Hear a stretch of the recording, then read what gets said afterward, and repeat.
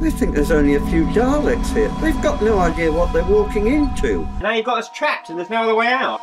Well, it's a friendly face. I knew coming here was a mistake. Exterminate! I think this is going to be the end.